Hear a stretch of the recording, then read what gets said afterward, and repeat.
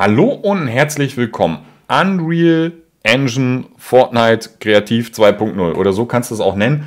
Wann ist das verfügbar? Jetzt, Leute. Genau ab jetzt. Ich habe gerade schon ein Video gemacht und da habe ich gesagt, ey, ich weiß noch nicht, ab wann es verfügbar ist und genau in dem Moment kam es. Also es ist, ist, ab jetzt verfügbar. Ihr könnt jetzt loslegen. Und der eine oder andere fragt sich jetzt natürlich, ja, okay, und wo? Und wie lege ich jetzt los? Wie kann ich da jetzt anfangen? Was kann ich da jetzt machen? Ähm, Zeige ich euch. Einfach hier auf die Internetseite. Also zwei Sachen, die nochmal wichtig sind zu wissen. Ich gehe jetzt einfach auf den Store bei Epic, auf die Seite. Da klickst du einfach drauf und dann siehst du hier auf der rechten Seite holen. Also du kannst es gratis runterladen und dann hast du das Ganze als Add-on, den Editor für Fortnite am Start. Und dann kannst du auch loslegen. Also richtig wilde Nummer. Wer das kann, Hut ab. Ich kann es nicht, aber äh, ihr könnt es dann bestimmt und dann sieht das auch geil aus und dann funktioniert das auch. Aber was ist wichtig zu wissen?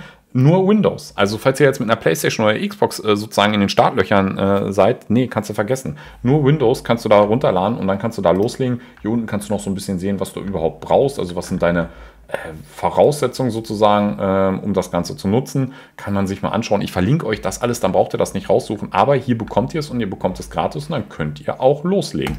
Hier habt ihr auch nochmal die Informationen, UEFN einrichten und starten. Dann habt ihr nochmal so ein bisschen, ich sag mal so ein Leitfaden, 1, 2, 3, 4, 5 bis runter zur 5. Da steht dann Spieltest und Veröffentlichung, damit ihr das Ganze auch online sozusagen für alle zur Verfügung stellen könnt. Also sehr, sehr coole Geschichte. Finde ich sehr spannend. Ich wünsche euch einfach viel Spaß damit. Ich bin auf eure Maps gespannt, wenn ihr was Cooles habt, haut es gerne mal irgendwie ins Kommentarfeld. Ich weiß jetzt nicht, wie lange das dauert, aber wird richtig, richtig cool. Also in diesem Sinne, Leute, viel Spaß beim Bauen. Macht's gut, bis dann und ciao.